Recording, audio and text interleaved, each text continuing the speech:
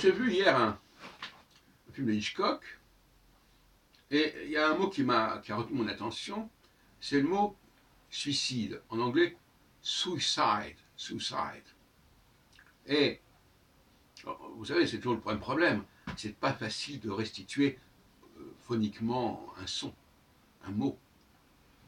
Mais il m'a semblé en tout cas que ça correspondait assez bien à ma, à ma, théorie. Ce n'est pas une théorie, c'est un constat de règles de code.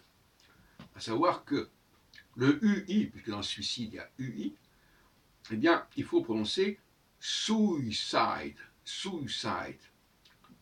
Et encore même pas tout à fait suicide. Enfin, en tout cas, euh, j'avais déjà dit, mon par exemple, il faudrait prendre nuit, il faudrait prononcer noit, nuit, nuit.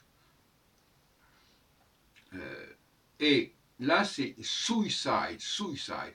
Il faut toujours que la première lettre, quand il y a deux, deux, deux voyelles, la première lettre s'entende, et la deuxième lettre devient simplement un prolongement, un, Y en quelque sorte. Suicide. La nuit, ça devrait être nuit, nuit. Euh, etc., etc.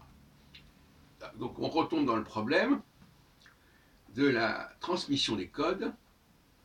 Dans le domaine du UI, en tout cas, l'anglais a bien euh, enregistré le mode de fonctionnement de la prononciation française. Alors même que le français ne l'a pas conservé, ce, ce code.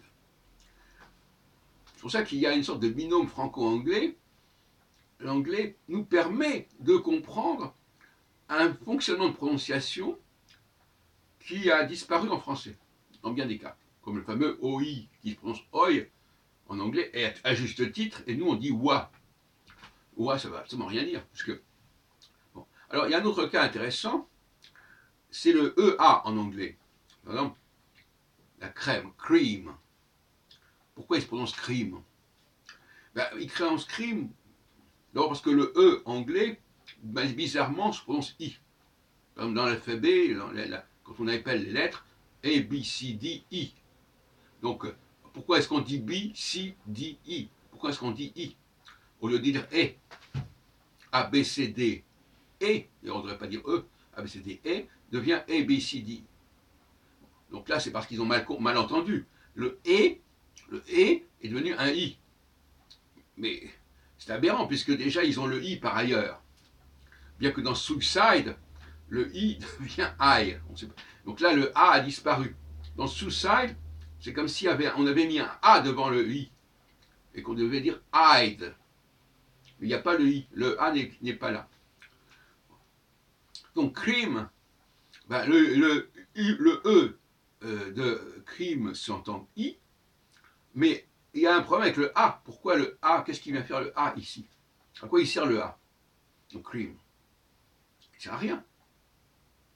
Quel est le code utilisé? Est-ce que les Anglais, les anglophones, ou les spécialistes de la langue anglaise peuvent nous expliquer pourquoi EA se prononce I en anglais? J'aimerais bien avoir la réponse.